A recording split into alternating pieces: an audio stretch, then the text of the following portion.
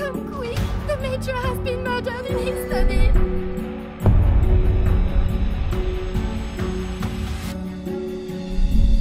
Do you have any suspicions as to who could have killed him? I have some questions for you.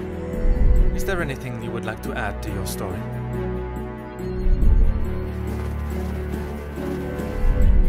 Ask that you all lend me your ears for only a few moments. What I have to say is of great significance to everyone.